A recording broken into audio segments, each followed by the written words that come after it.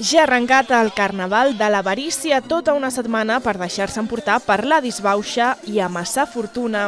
Com és tradició, el tret de sortida ha estat el dijous gras amb la truita com a protagonista.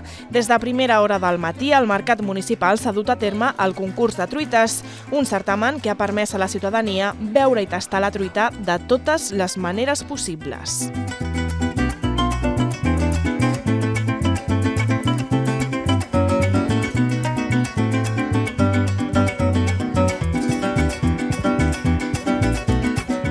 Encara que aquesta no ha estat l'única oportunitat de menjar truita, ja que a la tarda s'ha fet la truita de popular amb més de 2.000 ous aportats per la Granja Torres i cuinada per la Casa d'Andalucia i l'Associació de Veïns i Veïnes de Jardins de la Pau. La nota musical de la tarda ha estat a càrrec de la xaranga de la Casa de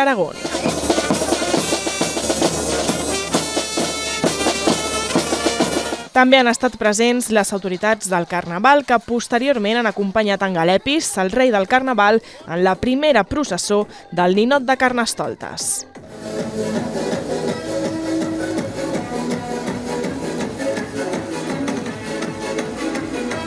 El punt final d'aquest primer dia de Carnaval ha estat el pregó d'inici i la inauguració de la plaça de l'Avarícia als antics jardins de la Pau.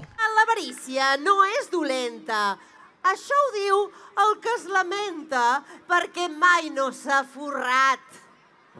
És l'art de guanyar diners, possessions i privilegis, influències, en resum, el que covegis i que no hagis heretat, manipulant el mercat, evitant que l'altre ho vegi i el més xulo tot plegat, sense sentir que has pecat.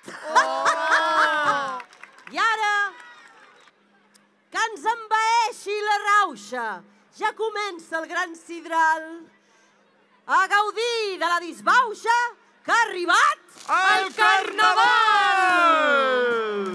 Per endavant resten sis dies amb la Rua de dissabte com acte central.